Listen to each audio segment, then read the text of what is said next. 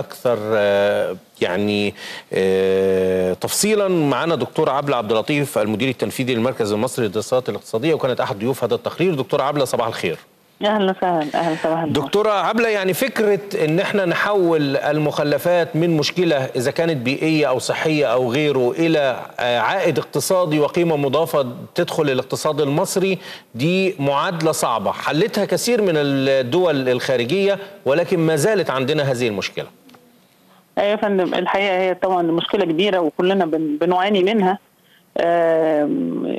بنعاني منها اولا بداية بسبب المشاكل الصحية والبيئية المرتبطة بال- بالمخلفات ده وفي نفس الوقت هناك ممكن الاستفادة من من هذه الأشياء.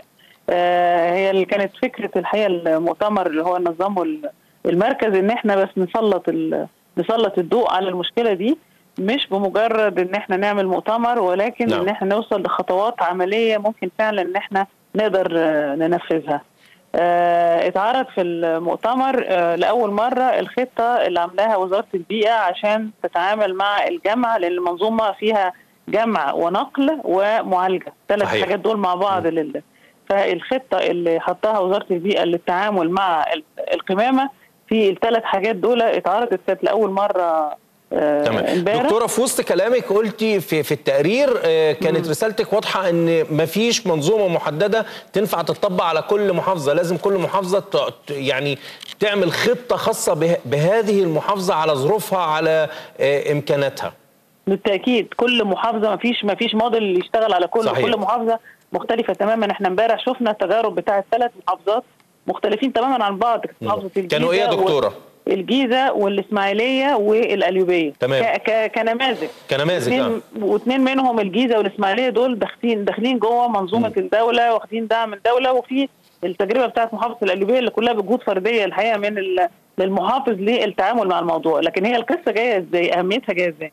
إن في مجموعة ضخمة جدا من الشركات دلوقتي بتتحرك في البلد شركات أجنبية وشركات مصرية كلها مخلفات صلبه وأحولها إلى طاقة أو أحولها إلى سماد عضوي أو أحولها إلى آه، هو تدويرها ل... ل... ل... عشان تبقى يعني منتجات من أول وجديد إحنا بنشوف منتجات آه. بتجيلنا معمول عليها إعادة تدوير بالظبط كده نعم. بالظبط بس هي الفكرة إن إعادة التدوير برضو فيها شيء حاجات كتير الناس برضو مش عارفاها مش. عارفاها. بمعنى إن مثلا متشاف إن الزبالة بتاعتنا لازم تكون ثروة. الزبالة عبارة عن ثروة وإحنا مش واخدين بالنا وإحنا. مش واخدين بالنا صحيح. لا هي هي هي مش ثروة. هي لو ولجت بطريقة سليمة تتحول ممكن لثروة. الاستفادة منها. ممكن الاستفادة منها. وعشان تحولها هي محتاجة فلوس.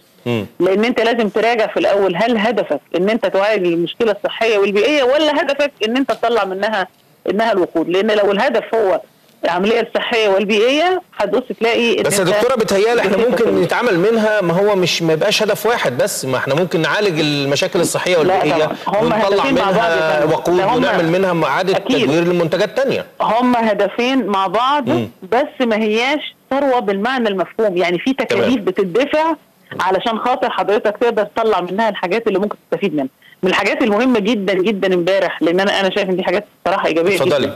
اولا إنه الخطة لما اتعرضت دي تم مناقشتها قدام الناس كلها. تمام. اللي هي الخطة بتاعت وزارة البيئة. واتفقنا إن هي هتتحط على الموقع بتاع المركز علشان كل المتخصصين يحطوا إضافات ليها. يعني هي. مسوده للخطة.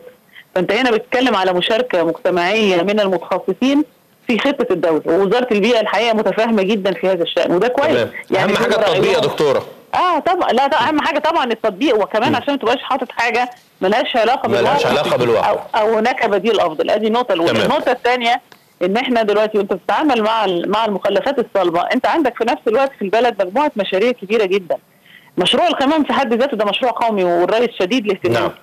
لكن عندك كمان مشروع مليون ونص فدان الأرض اللي هتستصلحها تمام. ومحتاجة أسمدة طب أنا ممكن أطلع الأسمدة دي من مخلفات صحيح، زراعية أنا. عندي عندي صحيح. حوالي 40 مليون طن نعم نعم مخلفات زراعية صحيح يا دكتورة، مش- صحيح. مش أقل من 20 مليون طن مخلفات تمام طب. اسمح لنا يا دكتورة إن إحنا برضو آه، في يعني في حلقة نعمل حلقة أو نعمل حوار عن هذا الموضوع ونستضيف حضرتك فيه ولو يكون أحد الخبراء مع حضرتك وهنتواصل معاكي في هذا الموضوع دكتورة طبعا. عبلة عبد اللطيف آه، المدير التنفيذي للمركز المصري للدراسات الاقتصادية بشكر حضرتك على وجودك معنا قبل ما نكمل أخبارنا هنروح نتعرف معاكم على حالة الجو اللي إحنا زي ما إحنا متابعينها. بقالها يومين متقلبة ورياح وأمطار. هنتعرف من الدكتور وحيد سعودي المتحدث آه، باسم هيئة الأرصاد الجوية. صباح الخير يا دكتور وحيد. صباح الخير يا فندم. أخبار بقى الجو إيه؟ يعني إحنا شايفين آه، آه، من يوم الجمعة آه، عواصف ترابية وأمطار وارتفاع شديد في درجات الحرارة. حضرتك تدينا فكرة كده عن حالة الجو. يعني هو الجو طبعا حضرتك غير مستقر الأسبوع ده كله. آه لكن هو النهارده بس في انخفاض في درجات الحرارة حوالي ست سبع درجات مئوية تقريبا مقارنة بالأمس. فبالأمس القاهرة فعلا سجلت 41 درجة. النهارده منتظر ليها 33 34 درجة تقريبا. وإن شاء الله على مدار ال 48 ساعة القادمة هتوالي انخفاضها حوالي ما بين أربع إلى خمس درجات. آه لذلك نصيحتي لكل السادة المواطنين على الأقل لغاية يوم 20 من الشهر الجاري ما يخففوش من ملابسهم ليلا. نعم. مفيش مشكلة طبعا إن إحنا نخفف من ملابسنا خلال ساعات النهار بنخلي بالنا برضو من نشاط الرياح. مستمر معانا الأسبوع ده كله على فكرة. يعني بيؤدي إلى إثارة الرمال والأتربة واضطراب الملاحة البحرية وانخفاض الرؤية على تمام. الطرق. وفي فرص طبعا لسقوط الأمطار في المقام الأول على محافظات سيناء. لكن هيكون في سقوط أمطار زي اللي حدثت امبارح وأول امبارح على القاهرة خفيفة جدا حضرتك. يعني بين القاهرة بتبقى على مناطق دون الأخرى. آه. بس الناس ما تقولش إن الامطار كانت في إحنا متعودين دايما يا دكتور في الفترة دي لغاية شم نسيم تقريبا هيفضل ال- الجو متقلب ونشوف الأربع فصول في نفس اليوم صحيح؟ ده كلام أكيد حضرتك إن شاء الله وأنا مؤيد لحضرتك في الكلام دوت إن فعلا في فترة التقلبات الجوية الحادة والسريعة مع بدايات فصل الربيع بتشهد فيها البلاد الأربع فصول في يوم واحد طبعا لذلك الاحتياط واجب. صحيح عن الأنشطة البحرية القيادة بهدوء على الطرق آه، مرضى حساسية الصدر والعين يبتعدوا عن هذا الطقس آه، لأن في أتربة ونشاط رياح شديد جدا مم. طبعا زي ما قلت في البداية يا ريت إن إحنا نستمر في ارتداء الملابس الثقيلة ولو بشكل متوسط خلال الساعات المتأخرة من الليل وحتى الساعات المبكره من الصباح خاصة آه، مساء الغد وبعد غد إن شاء الله لأن. درجة الحرارة الصغرى هتنخفض تماما طيب دكتور وحيد يعني عايزين آه، حضرتك بقى تقول لنا كده آه، هل ال- الجو اللي إحنا شايفينه دلوقتي آه، ده مبشر إن درجات الحرارة في الصيف هتبقى مرتفعة قوي هيبقى صيف ساخن جدا لا ما فيش ارتباط بين الفصول وبعضيها حضرتك يعني يعني ده بالعكس يعني إحنا النهارده كل دول العالم بتطلع نشرة كل ثلاث ساعات بالكثير عشان. تواكب المتغيرات السريعة اللي بتطرأ في الغلاف الجوي ومحدش يقدر يتنبأ بسيزون جاي أو بتاع. لأن الدقة بتاعته يعني ضعيفة جدا. نعم. طيب دكتور وحيد سعودي المتحدث الرسمي باسم هيئة الأرصاد الجوية شكرا جزيلا لحضرتك.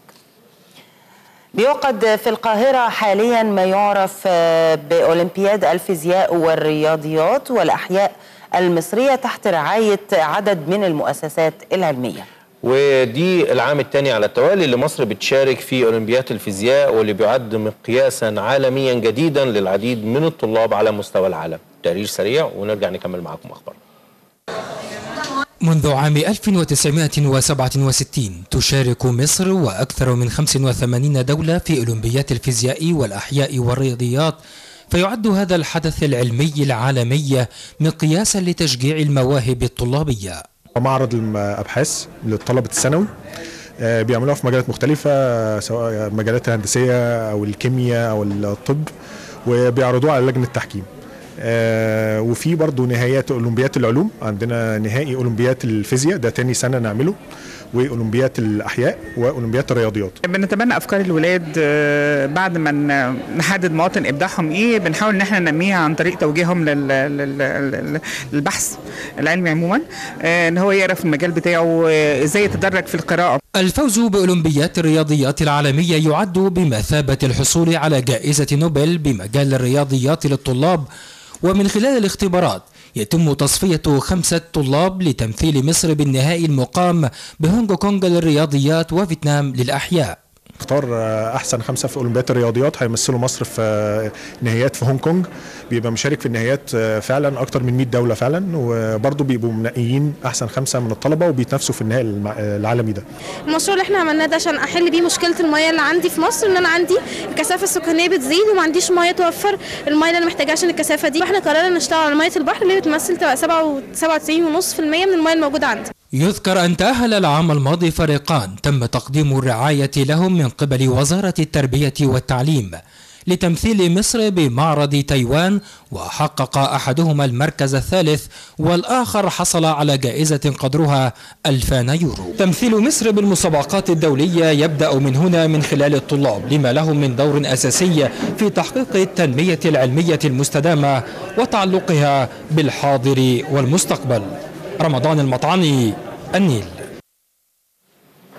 كلية السياحة والفنادق في الأقصر بتنظم أول مؤتمر دولي للسياحة والفنادق في المحافظة وده هيكون من خلال الفترة من 19 ل 21 إبريل الجاري تحت رعاية وزير التعليم العالي والبحث العلمي الدكتور أشرف الشيحي وأيضا وزير السياحة يحيى راشد ومحافظ الأقصر محمد بدر.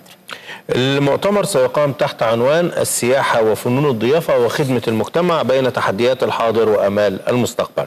من المحاور اللي هيناقشها الدراسات السياحية والإرشاد السياحي خاصة طبعا وتطوير السياحة في هذا الوقت اللي مصر بتحتاج فيه إلى إعادة نظرة عشان نرجع السياحة بشكل علمي وعملي جديد. من ناحية أخرى شهدت المناطق الأثرية بمحافظة الأقصر خلال الأيام الثلاثة الماضية ارتفاع ملحوظ في أعداد الزوار وصل إلى أكثر من 4000 سائح أجنبي وزائر مصري أيضا.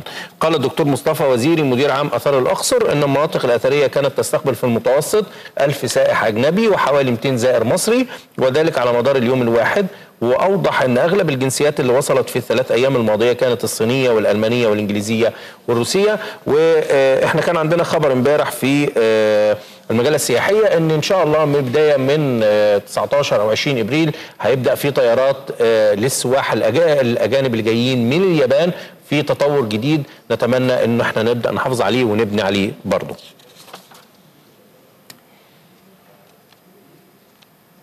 لسه برضو بنتكلم عن جذب السياحة الوافدة إلى مصر وفي هذا الإطار